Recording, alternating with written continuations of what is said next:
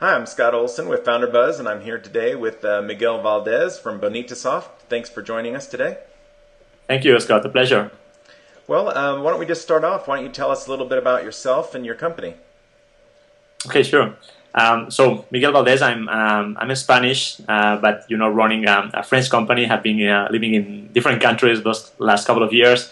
So I'm an engineer by training. So I'm the founder uh, of the uh, open source technology that today is Bonitasoft is um, pushing into the market. So I created this technology around 10 years ago when I moved from Barcelona to France. Uh, then we had the chance to, you know, for the, the last 10 years uh, to continue to develop this technology. The, com- the, the, technology was started in a research center. There was then moved to uh, the, the, the, private sector. So, um, so we experimented this move. Um, so during the last six years before we created Bonitasoft, uh, the company, the technology was supported by uh, Bull, the French integrator. Uh, so we had the chance uh, to, uh, you know, to build a BPM division at Bull uh, together with the other two co-founders of Bonitasoft. today is our CDO, Charles Souillard, and VP of Engineering, and our service director, Rodrigue Le Gall.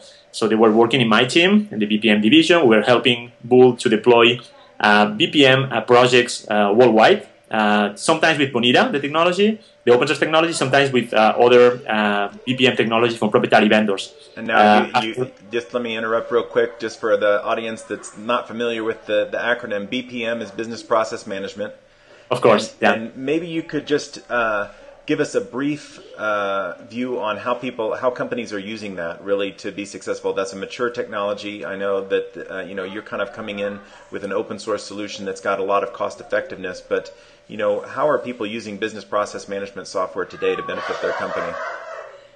So. Business process management, as you mentioned, is a mature market and it's something really, uh, you know, uh, that everyone understands, which is like the way in which we improve processes in organizations. So the key point is like you can use BPM technology in any um, uh, sector, uh, in any company. It's the way in which you can first uh, draw your process or model your process graphically, and the way in which you define how those processes are going to interact with people and systems. Uh, so uh, I always say that anybody needs uh, a BPM uh, solution, uh, and some examples of that could be, for example, when you are manufacturing, doing car manufacturing, you have a process in which you are building the car there, but you can also, when you are shopping in a, online, there is a process in which you are sending your order, somebody's going to validate your order. So, you know, there is a big portfolio of applications that can be developed on top of the BPM technologies, from the easy one on the net to more complex and mission criticals like car or aircraft manufacturing, for example. But of course, financial, any sector can use BPM technologies. And now, if I read correctly, I mean, I think that uh, Bonitasoft is one of the only open source solutions available for BPM uh, software. Is that correct? That's correct. Actually, there are a bunch of other uh, BPM projects uh, in open source, um, but Bonita uh, Bonitasoft is the um, is the only one that has been, for example, um, uh, certified by Gartner as um, you know the a complete BPM solution in open source, meaning that is the only one that match uh, all the criteria that uh, customers should expect from a BPM solution, but in open source. So meaning that the other projects has some of the modules, some of the functionalities, but um, Bonitasoft idea was to provide a fully functional BPM solution, but in open source. Yeah, and well, that, thanks for the clarification. That helps. And I think that um, you know I've actually interviewed a few other founders from open source companies, and I know how important the community is to your success. And so I'd really like to hear from you a little bit about uh, Bonitasoft's community and, and kind of the role it's, it's playing in, in your company. Uh, as well as you know how it's different getting a getting an open source company off the ground as opposed to just starting a traditional software company. Sure. I mean, it's, for me, it's completely different. Um, you know, because first of all, um, when you create an uh, open source company, you have to become global. So uh, meaning that you have to develop really fast, uh, and your community has to be a global community if you want uh, to build a successful business model around that. And so uh, going back to the, your question about community, community is crucial uh, because at the end of the day, those are the guys that are using, providing feedback, you know, spreading the word and disseminating uh, the, the, the, solution. so we took the decision from the very beginning to, to have a dedicated community team inside Bonitasoft that are dedicated to manage the community. So that means building the tooling that the community can use, you know, to foster this um, uh, this dissemination, also uh, building the materials. Sometimes, you know, we have a kind of um, TV channel in which we, we, propose there a lot of videos that helps also to get new people in the community. We have a contribution section in which uh, we provide the tools to the community to contribute back some code. So uh, we have a dedicated team from the very beginning. That's what one of the lessons that we learned uh, uh, when we before we created Bonita Soft is that if you don't put all that and all this energy and all this team behind that, uh, it's tricky, you know, to build a, uh, an international community. Yeah. So uh, yeah. And so, you sorry, know, it, one of the things I found as well is it seems like the open source community is very helpful for um, education and support as well. Is that has that been your experience also?